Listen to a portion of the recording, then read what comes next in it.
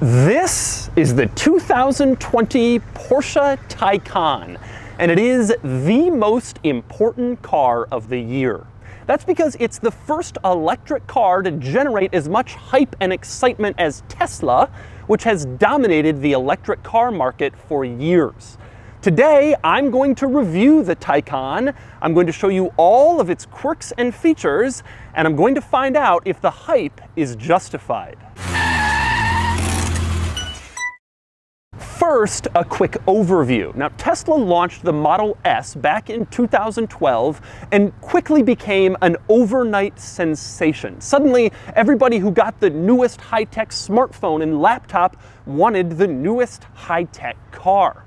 Over the years, other electric cars have come out, but Tesla fans have barely even noticed the arrival of the Audi e-tron or the Jaguar I-Pace. They just don't bring as much excitement and hype as Tesla commands. And then the Taycan. Porsche first announced the Taycan as a concept car called the Mission E back in 2015.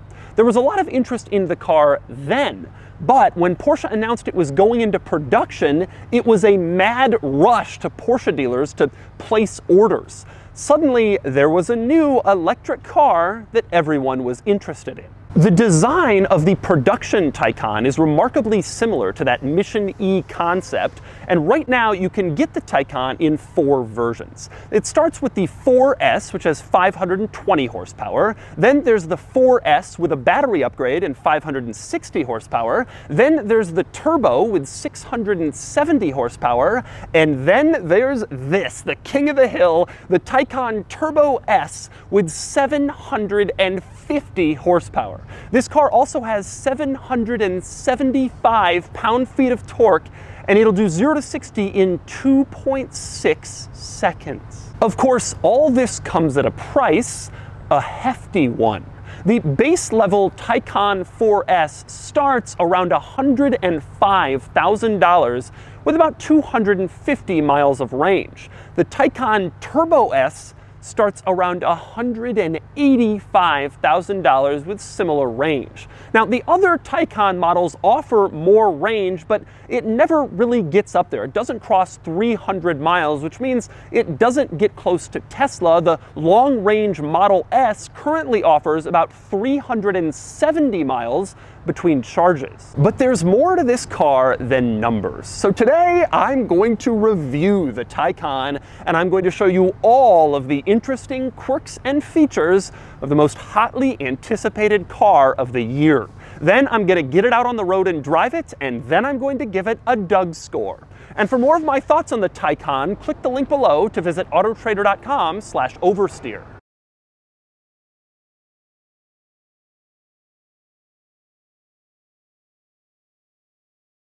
All right, I'm going to start the quirks and features of the Taycan with simply getting inside. Now, when you walk up to the car, you can see the door handles are kind of pushed in flat against the door, so you can't really get your hand in there and open them up. So how do you do it? Well, it turns out if you have the key in your pocket, you walk up, stick your hand underneath the door handle, they pop right open, and then you can open the door right up. Take a closer look. You can see I walk up to the car, door handle's flat, stick my fingers underneath, and then it opens up and you can open the door in basically one motion. It's pretty cool. Now, when your door handles are up like this, that basically serves as an indication that your Taycan is unlocked. If you want to lock it, just walk up to the door handle, tap it, and then it pushes back down into the door. The car is locked and you can walk away. Of course, you can also use your key fob to lock and unlock the doors. As you can see, pretty standard looking Porsche key fob. You press unlock, the doors unlock. You press lock, they lock. The thing I like about the key fob though is there's there's a little light around the Porsche crest at the base of the key fob, and every time you press a button, it kind of blinks to confirm that it got whatever button that you pressed, which is kind of a neat little look. But when it comes to opening stuff in the Taycan, the door is nowhere near the coolest item. That honor goes to the charge port. The charge port is right here, and you're thinking, all right, how do you open it? Do you push on it? Does it slide open? No. It turns out this little black piece protruding next to the charge port is a sensor sensor.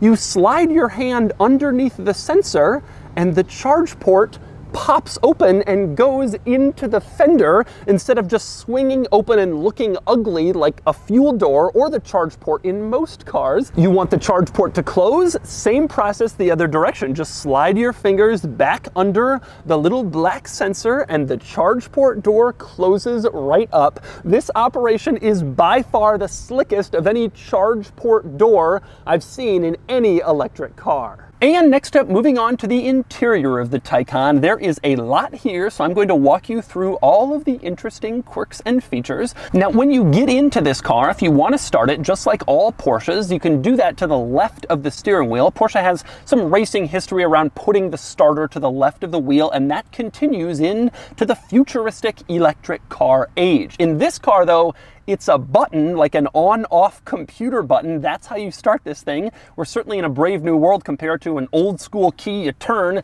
at the start of the Le Mans car race. But maybe the more interesting item in terms of getting in the car and driving off is the gear lever, which is to the right of the steering wheel. You can see it's this very tiny little lever that you can use to move between reverse, neutral, and drive. You go up for reverse, down for drive. Neutral is in the middle, and then park is a button off to the side. Now, I recently reviewed the new Porsche 911. It has this very same weird tiny gear lever, but it's mounted in the middle. In this car, it's over to the right of the steering wheel near the windshield wiper stock. Very unusual, but this is a futuristic, different kind of Porsche. So you might be thinking, okay, they've moved the gear lever up there. What was so important that they wanted to stick in the middle of this interior? And the answer is cup holders. You have one cup holder in the center, and then you have a second cup holder that's kind of off to the right, and that's what you have in the middle. You also have a little center console storage area. You press this button on the driver's side, it pops open, and then you can put stuff in there. There's also a wireless charging pad in there. Pretty simple stuff. That's the center of the Taycan. Now, the other item you have in the center of this car, far more important than the cup holders in the storage area, is this center screen. This screen has some of your more basic, more frequently used vehicle commands. You can see at the top, you have your climate controls. You can adjust the temperature, the fan speed, the heated and cooled seats. Unfortunately, this screen is not just a simple little touch like Tesla and other automakers. You have to tap it pretty hard and kind of get feedback from the screen. It moves down as you press it, and that's how you know you've tapped something. Not exactly my favorite type of screen, but it's what they went with here. Now, to me, the bottom half of this screen is more interesting than the top half, even though it might look kind of blank. To start, you have a little button over to the side that has a battery and a car on it. If you press the battery part of that button, it tells you what percentage charge you're at and your current range, so you can always know by tapping that little button. If you press the car side of that button, a little car graphic pops up, and then you can use it to start opening stuff. If you press over here, for instance, you can open up the AC charger. There is an AC-DC charger over on the other side. You press that and it pops open the same way as the one I just showed you. You can also use this screen to open the front trunk. Press this little button and the front trunk will pop open. Then you can go around and put stuff in it. And you can use this screen to open up the rear trunk. You press the button and the rear trunk will pop open automatically. It's power operated. The cool thing here is you can also use this screen to close the rear trunk. You press this button on the screen and then the rear trunk will automatically close just like it opened so you don't have to get out of the car to do that stuff. Same deal with the charge doors. They will also open and close on this screen. So the screen can be used to open and close stuff. Now, I will say there is one massive mistake in this screen, and that would be the volume situation. Several other automakers have learned, but Porsche apparently hasn't yet. The volume control in this car is on the touchscreen. You have to tap, tap, tap, tap, tap, tap, tap to increase the volume, tap, tap, tap, tap, tap to decrease instead of a simple knob. This is a mistake. It should always just be a knob, and there is one on the steering wheel, but if the passenger wants to change the volume, they have to start tapping. Bad design, and I hope they change that. Now, next up with this center screen, you might be wondering what is all the rest of this space for? There's so much empty space in this thing. What do you do with it? The answer is you can use it to control the upper screen. Take a look as I move my finger. You can see exactly how I'm moving, translating to the upper screen. So, if you do not want to lift your hand all the way to the upper screen, then you can simply control it using the lower screen. This is, I think, a first. You have a screen that controls a screen, and these two screens are only about eight inches away from each other. It seems ridiculously redundant, but it's there as a supplementary control to the upper screen. And just to be clear, I say it's a supplementary control because again, the upper screen is a touchscreen. You could just go up there and touch stuff, or you could control it using your lower screen. really unusual, but that's what they've done. And one other interesting item on that lower screen, in the bottom left of the screen, you have the camera button. If you press that, it pulls up the camera system in this car, and one of the options is a 360 degree exterior camera. So it basically shows your car, and then it shows everything happening around it, like there's some sort of camera helicopter hovering around your car. It's a really, really good system. You can see it from various different angles, and I really like it. I will say this system is not quite as good as some rivals. You can see there's some duplicating of the image, which leads to you not quite being sure exactly if you're about to hit something. BMW does it a little better, but still, this is a great feature, and I'm glad Porsche has included it. And next up, we move on to that center screen, which has far more controls than that lower screen. If you go to the home menu on the center screen, you see the typical stuff, navigation, media, settings, basically what you would have in a regular Porsche infotainment system, but there are quite a few unusual and new items in here,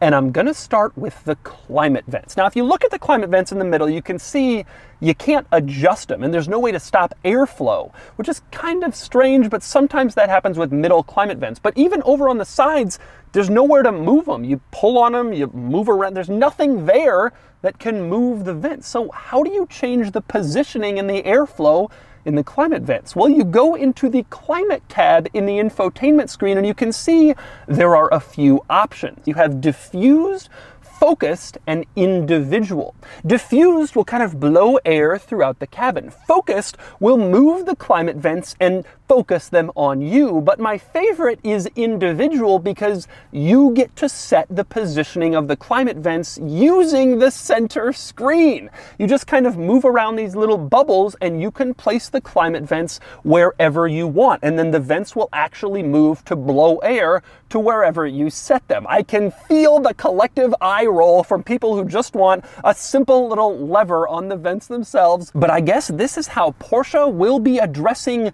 climate vent adjustments in the future. It's also worth noting that you can adjust the airflow to the climate vents with this little bar that pops up over on the left. It's like a slider and you can move it up or down for more or less airflow. Same deal over on the passenger side. You can choose between diffused, focused, and individual. And once again, you kind of move the bubbles around for individual and you can position the climate vents exactly where you want. So no more simply moving the vents on the vent themselves you gotta go into the screen. Now, next up, we move on to some interesting car settings. The first one that caught my eye was something called Electric Sport Sound, which you can turn on or off. What does that do? I'm not really sure. I'm going to try it out when I drive and I'll see if I can tell the difference between sport and normal, whatever. And next up, another interesting item in car settings is recuperation, which you can set to use some of the car's momentum when it's slowing down to convert back into energy and give you more miles of charge. You can set this to off, on, or auto. Now you may be wondering why someone would turn this off. Isn't it better to have more range? But it does change the characteristic of the car slowing down, apparently. So if you want a more natural driving feel, you turn that off and then it'll feel more like driving a normal car and that's why Porsche allows it to be configurable. And next up, moving on to the navigation system in this screen. Pretty standard Porsche navigation system, but there are some unusual new items. One is range. You can select a menu item called range, and then if you zoom out, you can see it shows exactly how far you can go on your current charge. It shows your current range. That is a pretty cool feature, and I like to see when electric cars include stuff like that in their navigation systems. It just makes things a little bit more convenient and easy to figure out how far you can drive. The other interesting interesting new item with the navigation system is how you enter a destination. You go to search, which allows you to type in an address or city, whatever, and then you can actually hand write it using that empty spot on the lower screen. So you can write in whatever you want. The car will pick up your writing most of the time, and then it will pull up on the screen. You can select it, and that's your destination. Far easier than typing each individual letter out on a touchscreen. Writing it is always a better solution. And next up, we move on to the third screen, and that would be the gauge cluster screen, which is a very unusually shaped screen. It's shaped like a gauge cluster, not like a rectangle or a square like most other screens. The most interesting part of this gauge cluster screen to me though is it's partially a touch screen. You'll notice over to the left you have various different levels of lighting. You can tap them and it turns on the parking lights or the automatic lights or whatever you want to do. There's no physical light control over on the left like in most other cars. Same deal on the right side of this weirdly shaped gauge cluster screen. You have various different buttons to control different car functions. You can turn off traction control. You have the shortcut button, which is the diamond that you can program to be anything, and you can tap those. So your gauge cluster screen is a touch screen. Now I should mention that the gauge cluster is not a touch screen in the middle. It is very configurable, but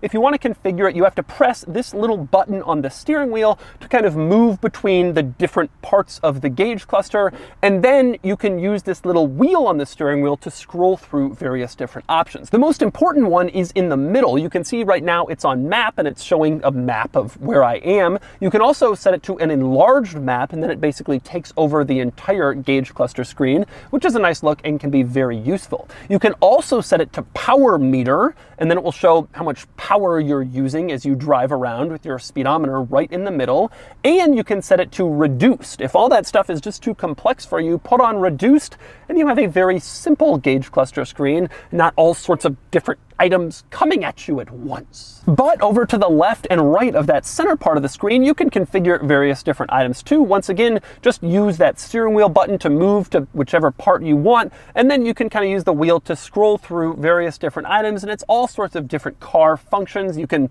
look at your safety systems, your tire pressures, your trip odometer, your phone, your media that's currently playing, all sorts of different stuff. So you have a nice configurable gauge cluster that allows you to choose whatever you want to see which is a good departure from fixed gauges where that's all you're looking at. And next up, another notable item is the gauge cluster graphic that appears when you turn off the Taycan. Check this out. You turn it off and it says Taycan and shows a silhouette of the car. Pretty standard, a lot of cars do that. But then the car silhouette turns and you kind of see the light bar from behind and then the light bar slowly fades away and then the car is off. A lot of cars now have startup and turn off graphics, but that is one of the coolest ones I've seen. And next up, we move on to the steering wheel, which is pretty much the same steering wheel you'll find in most other Porsche models, although notably it lacks paddles because this car lacks a traditional transmission. The one interesting item worth noting on the steering wheel is this little dial that comes off to the right. That's your drive mode adjuster dial. You can twist it and then you can see in the gauge cluster your various drive modes appear, and you can kind of scroll through all of them and pick which one you want. A new one for this car is something called range, which I assume will do everything possible to maximize your range and efficiency and allow you to travel as far as possible on one single charge. And finally, I want to talk about interior quality, which is fantastic. Everything feels absolutely wonderful, stitched well, put together well, top-notch materials all over this interior, far eclipsing what you get in Tesla. This is a really good luxury car interior. With that said, I'm a little disappointed about one aspect, and that would be this little plastic panel on this pillar next to the door panel. You can see the door panel is beautiful, different colors, stitching, carbon fiber, and then it runs into this plastic panel and it just doesn't look anywhere near as good. For $185,000, you would think that panel would be finished in something other than what looks like cheap plastic. And next up, we move on to the back seat of the Taycan. And the first thing you notice back here is that it's sporty. There's no three person bench seat back here. Instead, you have two individual bucket seats and they are quite heavily bolstered. I guess the theory here is you can take your whole family on the track and they won't slosh around in their seats. It is worth noting that optional in this car is a three person rear bench. So you can have a five seater car or You can have a four-seater like this one if you don't plan to take five people very often. Now, aside from the bucket seats, the first thing you notice when you get back here is the roof, which is a massive glass panel. This piece doesn't open, it's fixed in place, and there's no cover for it, although it's tinted, so not much sunlight gets through, but still it is a huge piece of glass, and it really makes the rear feel very open. Now, this piece covers the front seats too, but you don't quite notice it as much in front, but back here, it feels like you're in some sort of tour bus or glass bottom boat, except it's on the top. And speaking of windows, another item worth noting back here, due to this car's design, the rear windows don't open very far. You roll down the windows and this is as far as they open. Contrary to popular myth, this is not a safety thing to keep your kids from climbing out. It's based on the design of the back door, and in this case, the window just can't go very far into the door. With that said, there is some good news for rear seat passengers. There are a few nice features back here. For example, you have heated seats in back. You can press these little buttons, turn on the heated seats to three different stages. And you also have individual reading lights back here. You have a little button on the ceiling ceiling, you can push it, and that turns on the reading lights so you can read while you're being whisked around on the racetrack in your electric Porsche. One other thing the rear seat passengers have climate control adjusters on the vents themselves.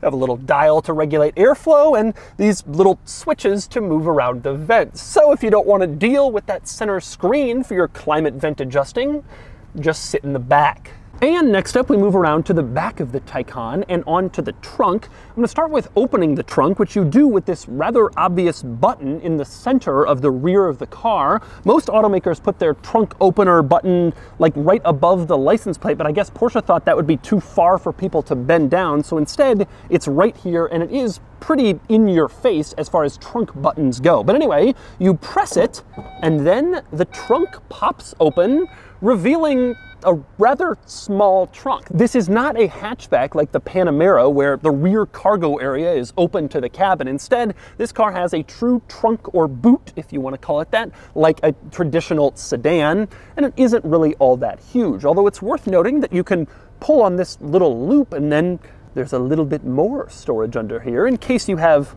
tiny items you want to keep out of the rest of the trunk.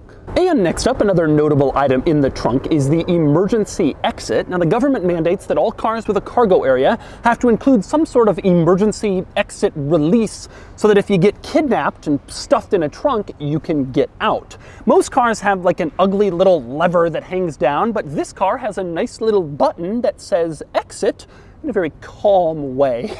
Porsche even does the emergency exit trunk release nicer than other automakers.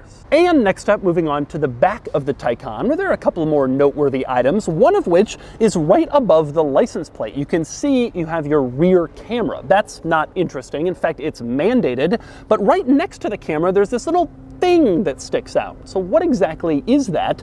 That's a washer. And if the camera gets dirty, you can go into the infotainment system, into the camera, press this little washer looking button, and then it actually washes the camera. So you don't have to get out and wash the camera yourself. The car will do that for you, which is a pretty nice little quirk. Now, another interesting washing related item with the Taycan comes with the rear spoiler. In other Porsche models, you can drive around with the rear spoiler up so people stare at you. Not so in the Taycan. There's a spoiler right here and it will automatically go up at certain speeds, but you can only manually put it up to wash the car. There's a little item in the infotainment system that allows you to put the spoiler in cleaning mode. It only goes up this far, so you can basically get a rag underneath it and clean the area. That's it. You can't actually drive with the spoiler up, so you can't have people staring at you and you're cool Porsche with the spoiler. And next up, another cool item on the back of this car. All Porsche models have light bars now. That's not particularly noteworthy. What's neat is right below that, the Porsche script is in what looks like a circuit. You can see all these little lines kind of going between each letter, and it looks sort of futuristic and special and high tech. And I really like that they bothered to do that. It gives the car just a slightly more interesting look. Now, the last thing I want to discuss back here is this car's name because it's caused quite a bit of controversy. I'm going to start with Taycan. And yes, that is how you say it, Taycan and not Taycan, which is odd because it looks like it would be pronounced Taycan, but Porsche assures me that it isn't. It's also strange because they have a car called the Macan, which isn't related to this. So you have Macan and Taycan, not Taycan, two separate Porsche models. I find that to be weird. But I also want to talk about the other name on the back of this car, and that would be Turbo S. When Porsche announced that they would be using Turbo and Turbo S for the highest performance versions of this car, people flipped out. The internet absolutely lost it. How can they call it the turbo? It doesn't even have a gas engine or a turbo. It's sacrilege. People, how can you take car names this literally? Looking around this parking lot, do you think the Chevy Trailblazer is out there blazing trails? Do you think the Toyota Highlander is in the Highlands? No, it's sitting in a parking lot in suburban LA next to a Prius. The Chevy Avalanche, the closest it's ever gonna come to an actual avalanche, is when the owner stops at Dairy Queen for a blizzard. The simple truth is, in today's world of electrification and smaller turbo engines, none of these names mean anything anymore. The BMW 550i no longer has a 5 liter V8. The Mercedes C43 doesn't have a 4.3 liter liter engine, and this does not have a turbo. But in Porsche world now, turbo just means fast. Quit clutching your pearls and get used to it. Join 2020 this is how it's going to be. And finally, our last item around the back of this car. This is a sporty Porsche, and so let's do the same thing I do every time I review a Porsche performance car. Let's take a listen to that exhaust note. Here you go.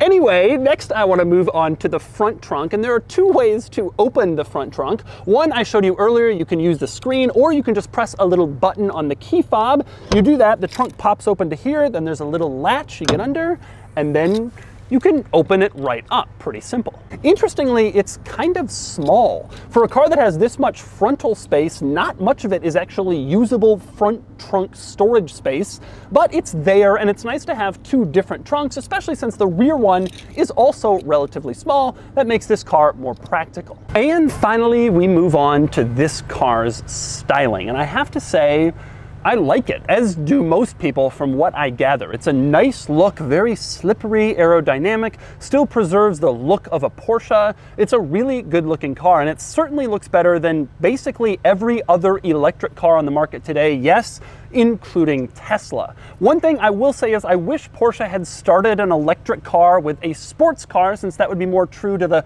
Porsche ethos, but sports cars don't really get a lot of sales these days. That probably would have been a mistake from a business perspective, but from a car enthusiast perspective, I think it would have been cool. One other item worth noting on the outside of this car is these wheels. Porsche calls these the Mission E wheels because they're supposed to mimic the ones that were on the original Mission E concept, and frankly, frankly, I have to say they did a pretty good job. Here's the Mission E concept. You can see how it looks and then how this car looks also. Obviously, it's surprising when an automaker gets that close from a concept car to reality, but they've done it here. And so if you liked the Mission E when it came out as a concept car and got a lot of attention, then almost undoubtedly you will also like the Taycan. And so those are the quirks and features of the 2020 Porsche Taycan Turbo S.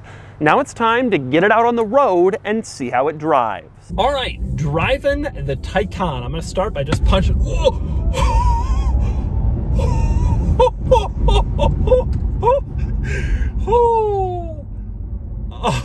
Oh, wow. I have to say, flooring it, after it gets going, it feels about like a really fast gas car. But that first burst,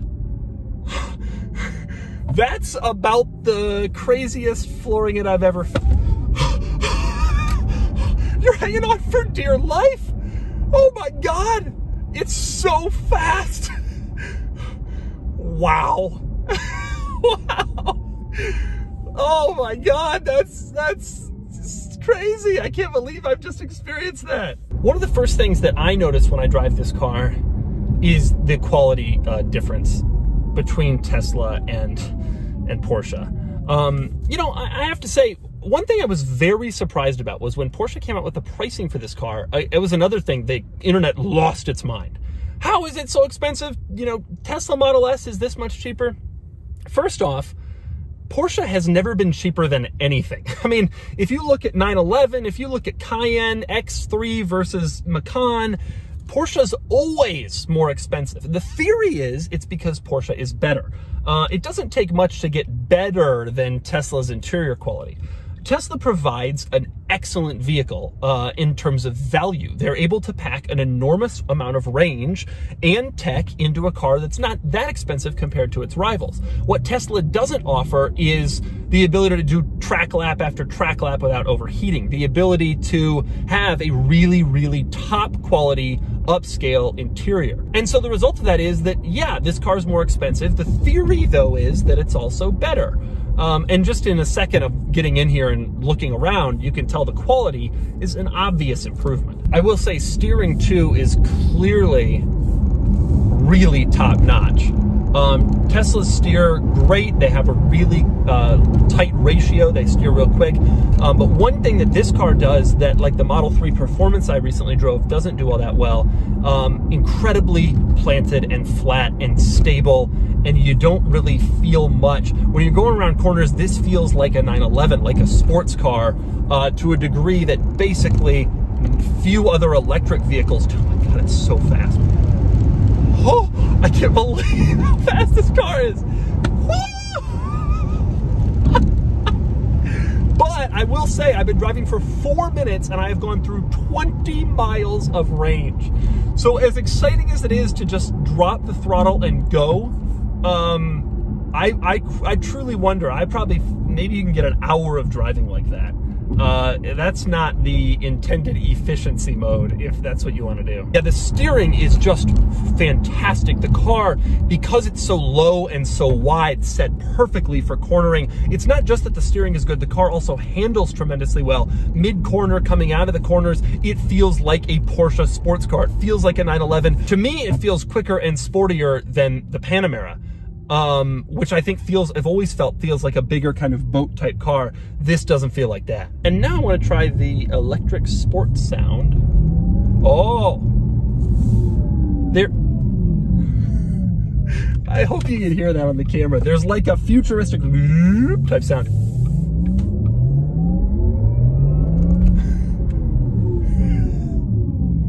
That's the stupidest thing I've ever heard in my life now I'm just sort of cruising around sort of a standard residential neighborhood. Um, you know, because most of the time people aren't gonna be flooring it and going hard through corners in this car. It really does behave like a nice luxury gas car, with the exception of you don't really hear anything. Um, it, it just is, is fantastic and it drives well and it looks good and it looks good in here and um, this is a really, really quite an impressive car. To me, this is how Porsche makes an electric car. It drives like a Porsche. It's fast, it's fun, it's exciting. It's very, very enjoyable to drive. And so that's the 2020 Porsche Taycan Turbo S. This is a fantastic car, but Porsche is playing catch up. They don't have the charging infrastructure that Tesla does. They don't have the range that Tesla does. And this car is vastly more expensive than Tesla's vehicles. But this car is much higher quality than a Tesla. The performance is insane. The brand name is fantastic. And this is the first car that has really equaled Tesla in hype. And the hype is worth it. Anyway, now it's time to give the Taycan Turbo S a DougScore. Starting with the weekend categories and styling, the Taycan Turbo S is nice looking, though a bit controversial and not exactly classically beautiful, and it gets a 7 out of 10. Acceleration is insane, as you could see, it does 0 to 60 in 2.5 seconds, which easily earns it a 10 out of 10. Handling is sharp, though not quite as sharp as my very favorite four-door cars, and it gets a 6 out of 10. Fun factor is huge given the acceleration and the handling, and it gets an 8 out of 10. Cool factor is huge right now, and it easily earns an 8 out of 10 for a total weekend score of 39 out of 50. Next Next up are the daily categories and features. The Taycan has a lot of great tech, but it's not quite the best, and it earns an 8 out of 10. Comfort is normal for the class, and it gets a 7 out of 10. Quality is very high, and it earns an 8 out of 10. Practicality is average due to the four seats and small trunks, and it gets a 5 out of 10. Finally, value, and this car is really impressive, but it's also really pricey. $185,000 is just insane money, and that's before options. It's so expensive, and it gets a 5 out of 10 for a total daily score of 33 out of 50. 50. Added up, and the DougScore is 72 out of 100, which places it here against other high performance sedans and electric vehicles. Amazingly, the Taycan Turbo S ties the car I think is its closest competitor. The Mercedes AMG GT sedan both get 72, but the AMG GT does better in daily categories thanks to better tech and more reasonable pricing, while the Taycan does better in weekend scores. Overall, the Taycan is really impressive but it's also really expensive. If you want the charge port to close, just slide your fingers back under the sensor, and indeed the charge port will eventually